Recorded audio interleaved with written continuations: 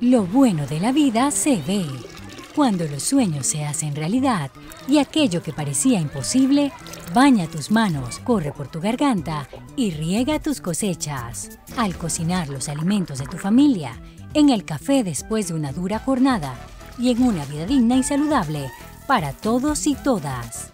Lo bueno se ve cuando se hace pensando en la gente. Por eso, en un Atlántico para la gente, lo bueno siempre se ve.